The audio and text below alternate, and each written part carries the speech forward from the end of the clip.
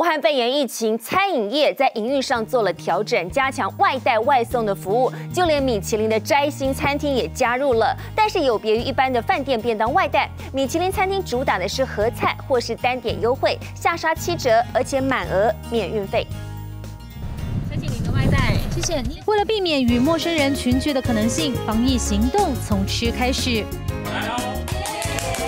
用餐时刻，许多人就像这样选择将餐点带回办公室享用。不过，打开一个个外卖餐盒，这澎湃的餐点可是米其林餐厅的别致功夫菜。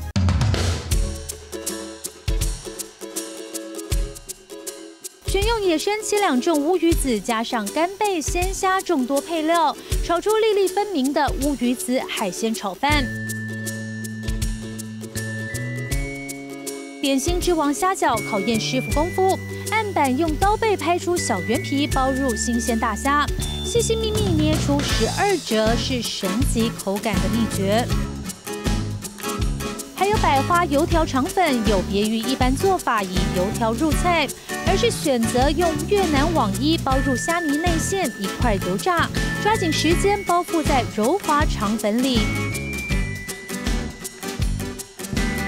了超过十六小时才熬成的老火白菜干粒汤，都是大老板们的心头好。然后里面就是有小排、龙骨、刺肉、鸡脚，好，然后跟所要的，像这个就是梅干菜，好这些东西，就先在蒸，加加十公斤的水下去，蒸了大概十六个小时之后呢，然后用大火再滚三个小时，再放一个新鲜的料下去，再煮一个小时，那用两倍的料去拿出。这个浓郁的汤，那大家就是十公斤的水取两公斤的汤，一饭一汤再搭配两道港点，外带价格下杀七折，用料功夫可是没有打折。外带的量就需求蛮多的，想要特别推出一下这个方案来回馈一下消费者，打个七折。可是我们的用料都是一样，就是真材实料的这个部分。那还有一些在办公室大楼。不想出门的，他们也会打电话来预约。所以为了餐点完美状态呈现呢，很多米其林餐厅是不提供外带的服务的。不过呢，现在受到疫情冲击影响，除了刚刚看到的粤菜米其林餐厅之外呢，也有摘星的台菜餐厅推出下杀破七折的外带服务，以经典菜做主打，澎湃大拼盘，色泽缤纷，各有各味。招牌炒米粉以澎湖日晒章鱼干、虾米、椴木香菇还有蔬菜炒到软化，加入比例精准的高汤虾米拌炒。即使没有疫情冲击，许多人也会到米其林摘星餐厅外带这两样比较经典的一些菜色，像比如说我们的拼盘啊，然后里面有甘蔗熏鸡啊、香肠啊、三色蛋中卷、人参猪心，然后还有炒米粉，这也是很多人喜欢的。那最后还有一个呃，